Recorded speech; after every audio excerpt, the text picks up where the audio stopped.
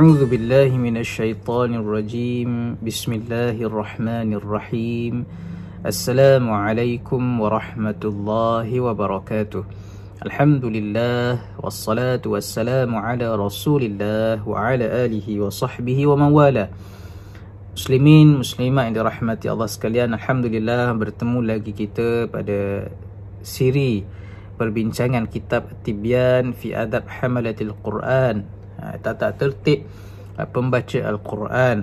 Ha, Dan insyaAllah pada hari ini kita akan menyambung lagi pada fasal yang berikutnya. Sebelum itu suka untuk saya mengingatkan kepada penonton Yang belum lagi subscribe Sila tekan butang subscribe. Mudah-mudahan dengan subscribe yang tuan-tuan berikan dapat merancakkan lagi aktiviti dakwah pihak masjid. Dan kita akan lebih uh, banyak lagi uh, upload pengisian-pengisian yang menarik seperti mana yang sedang kita bincangkan pada hari ini iaitu kitab At-Tibyan fi Adab Hamalatil Quran tata tertib pembaca Al-Quran. Muslimin muslimat dirahmati Allah Taala sekalian, hari ini kita masih lagi pada bab yang ketiga iaitu bicara tentang memuliakan ahli Al-Quran dan larangan menganiayai mereka dan hari ini kita masuk kepada fasal yang terakhir pada bab ini iaitu yang bertajuk para ulama adalah kekasih Allah.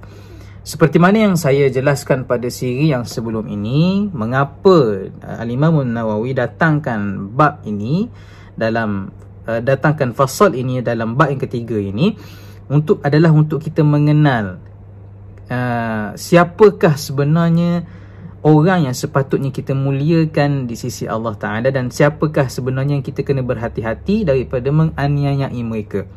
Bukanlah membawa erti kata kita boleh menganiayai orang lain tetapi kita muliakan sebahagian daripada yang lain. Tidak, tetapi kita nak kenal dengan sebenar-benarnya siapakah yang sebenarnya menjadi orang yang diangkat kedudukannya di sisi Allah Azza wa Jal.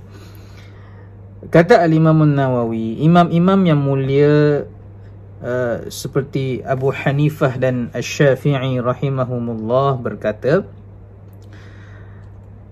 Kalaulah para ulama itu bukan wali Allah, yakni kekasih Allah, maka siapa lagi yang dikatakan walinya? Tentulah tiada wali lagi bagi Allah kalau bukan para ulama. Uh, kata pengarang uh, berkaitan dengan hal ini, orang di zaman sekarang sangat mudah terkeliru dengan istilah ulama yang sebenar-benarnya hakikat uh, yang hakiki. Perkataan ulama itu dirujuk kepada siapa?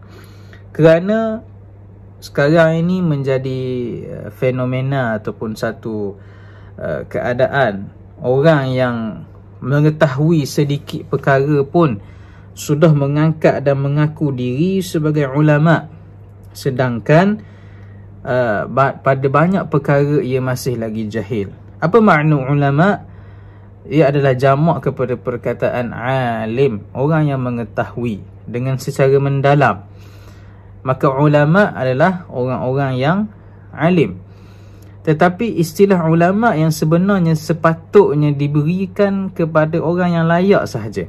Tapi malangnya hari ini uh, ramai orang yang tidak mencapai pun uh, tidak mencapai tahap kedudukan ulama yang sebenarnya di sisi uh, syarak tetapi mengangkat dan mengaku diri sebagai ulama. Bahkan disebut dalam kitab ini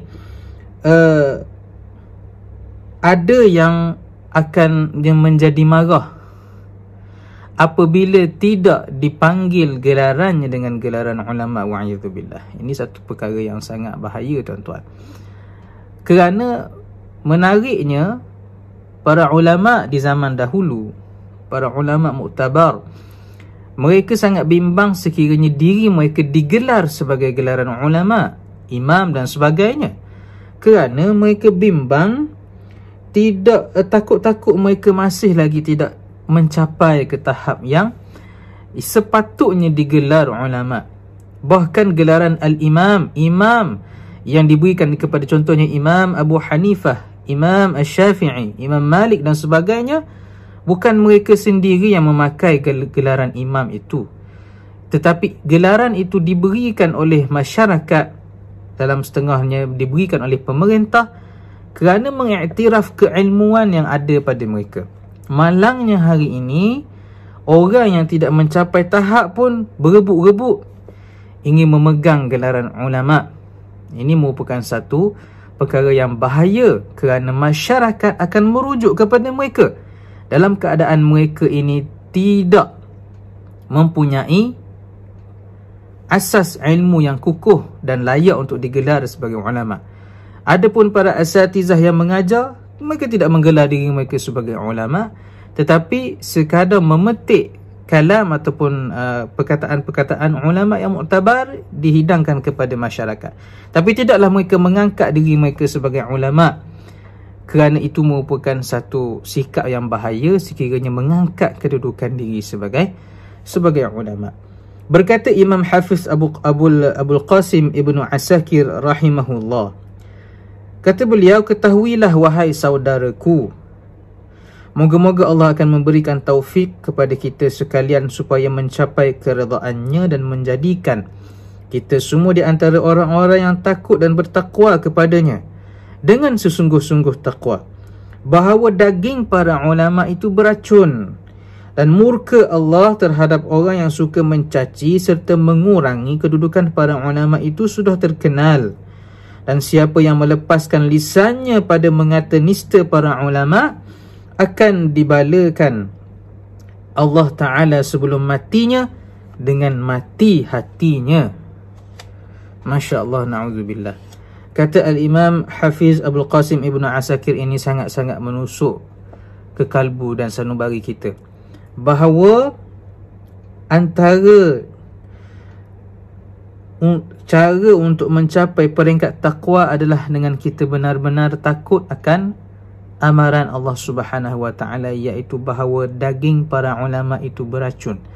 Apa maknanya di sini? Maknanya tidak boleh disakiti akan para ulama yang hakiki. Di sisi di sisi Islam.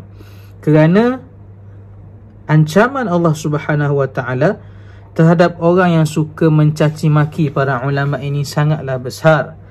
Ha, bahawa sebelum dimatikan mereka akan dimatikan hati mereka. Maknanya tidak akan tidak akan mudah lagi menerima teguran tidak akan mudah lagi menerima nasihat tidak akan mudah lagi melakukan kebaikan dan sebagainya kerana dimatikan hati uh, kerana asbab menghina para ulama wa'iyadzubillah ke, kerana Allah Subhanahu wa taala mendatangkan satu perintah dalam surah An-Nur. Kata Allah Taala, "A'udzubillahi minasyaitonir rajim." Falyahdharil ladzina yukhalifuna an amrihi an tusibahum fitnah aw yusibahum adabun alim. Surah An-Nur ayat 63. Kata Allah Taala, "Awasi, awas kamu wahai orang-orang yang melanggar perintah Allah." dalam hal ini dari apa yang akan menimpa mereka daripada fitnah ataupun seksa dan azab yang pedih.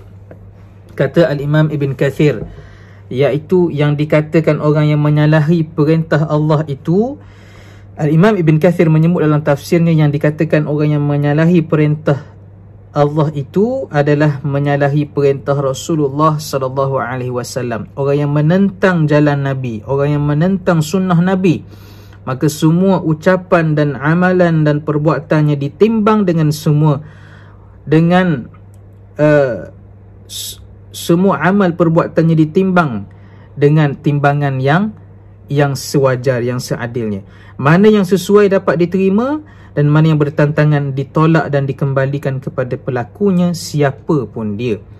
Uh, seperti mana yang disebutkan dalam kitab sahihain dan juga kitab-kitab hadis lainnya. Nabi SAW bersabda man amila man amila amala amalan laisa alaihi amruna fahuwa raddun. Sesiapa yang mengerjakan suatu amal perbuatan yang bukan termasuk dalam sunnah ataupun urusan kami maka hal itu ditolak dengan kata lain hendaklah orang yang menyalahi syariat Rasulullah berhati-hati dan takut dari sudut zahir dan juga batin apa sunnah Nabi? Apa arahan Nabi? Nabi menyuruh kita memuliakan orang yang diangkat dan dimuliakan di sisi Allah Subhanahu wa taala. Al ulama warathatul anbiya. Ulama itu pewaris Nabi. Maka bila kita tahu ulama pewaris Nabi, adakah sanggup untuk kita uh, menghina dan mencerca mereka? Ini termasuk uh, dalam bab yang ketiga ini yang yang bab besar yang kita bincangkan, larangan menganiayai para ahli Al-Quran yang kita maksudkan sebagai ulama yang hakiki uh, di sisi di sisi syarak antusibahum fitnah kata Allah Taala hati-hatilah bahawa mereka akan ditimpa dengan cubaan yakni dalam hati mereka berupa kekufuran berupa kemunafikan berupa uh, uh, galakkan uh, timbul rasa seronok melakukan perkara bid'ah. Kerana hati mereka ini telah pun dimatikan oleh Allah Subhanahu wa taala kerana kekufuran yang telah pun mereka lakukan. Dan au yusibahum azabun alim ataupun nantinya akan ditimpa azab yang pedih. Kata Imam Ibn Kathir sama az, sama ada azab di dunia seperti dihukum mati dan sebagainya ataupun di penjara dan lainnya dan juga azab di negeri akhirat yang mana nauzubillah kita minta jauh daripada daripada diazab oleh Allah Subhanahu Subhanahu wa taala Nabi SAW datang kepada kita membawa petunjuk, membawa panduan supaya kita dapat mengelakkan dan menjauhkan diri kita daripada terjerumus ke dalam neraka Allah Ta'ala. Seperti mana yang uh, pernah Nabi sabdakan dalam satu hadis yang agak panjang. Kata Nabi, uh, mafhumnya bahawa umpamanya Nabi ini seperti uh, dinyalakan kayu api dan uh, uh, binatang-binatang terbang akan tertarik kepada cahaya unggun api berkenaan dilarang dan ditepis supaya binatang itu tidak mendekati api tetapi akhirnya binatang itu mengalahkan dan mengalahkan orang yang menghalang pihak yang menghalangnya pergi ia kepada api berkenaan dan mati kerana kepanasan api tersebut. Begitulah kata Nabi perumpamaan baginda terhadap umatnya. Diutuskan Nabi sebagai memberikan panduan untuk mengelakkan kita daripada terjerumus ke dalam neraka Allah wa'iyadzubillah tetapi para para umat yang uh, manusia yang tidak mengikut sunnah Nabi tidak mengikut syariat Nabi sallallahu alaihi wasallam mengalahkan Nabi dalam erti kata tidak mengikut apa yang diajak oleh Nabi sallallahu alaihi wasallam? Menyebabkan akhirnya nauzubillah mereka semua akan terjerumus ke dalam neraka Allah taala. Dalam hal ini perintah Nabi perintah agama adalah supaya kita memuliakan para alim ulama tidak mencaci dan dan tidak menganiayai mereka. Apatah lagi kita melakukan kezaliman kepada mereka? Kerana kebenaran yang mereka ucapkan daripada kalimah-kalimah Al-Quran yang dibacakan oleh mereka. Maka di sini ditegaskan dalam penutup bab yang ketiga ini supaya kita muliakanlah ahli-ahli Al-Quran, para ulama yang beramal dengan Al-Quran dan juga sunnah Nabi sallallahu alaihi wasallam Mudah-mudahan kita termasuk dalam orang yang memuliakan orang-orang yang dimuliakan di sisi Allah Subhanahu wa taala. Saya kira cukup sekadar itu dulu untuk pertemuan kali ini. Insya-Allah kita bertemu di lain kesempatan. أقول قولي هذا وأستغفر الله العظيم لي ولكم والسلام عليكم ورحمة الله وبركاته.